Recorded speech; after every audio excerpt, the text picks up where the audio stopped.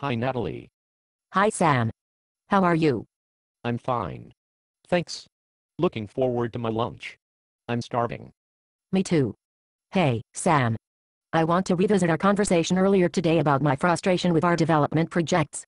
You referenced Agile as your preferred development framework. Since then, I have done some research on Agile, and I have a concern. I do not know if I feel comfortable with developing software on my projects without a requirements document. How could it possibly work? Don't you think Agile is a fad? Not at all, Natalie. I hear that concern frequently. However, although it seems intuitive to think through the software completely and comprehensively before writing code, the data shows that writing requirements documents does not correlate to better software. To what are you referring? Is it some cult, agile figure who has brainwashed you into doing his agile bidding? No Natalie. Do you remember my reference earlier today to Humphrey's requirements uncertainty principle? Yes. I am interested in hearing about it.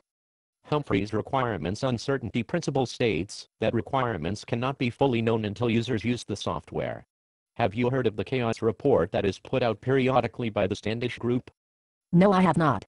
The Standish Group has studied software development projects for over 15 years. In their chaos report, their findings show that 60% of features developed into applications are either never or rarely used. Thus, upwards of 60% of requirements are developed for features that will be rarely if ever used. I think between Humphrey's requirements uncertainty principle and the data in the chaos report, the idea that the more effort put towards a comprehensive requirements document will guarantee maximum efficiency with the development of software, is false. You have caused me to rethink what I have always thought to be true. Without a requirements document, how does a team know what to develop? That is a good question, Natalie, and one I would like to discuss over lunch. Care to join me? Sounds good, Sam.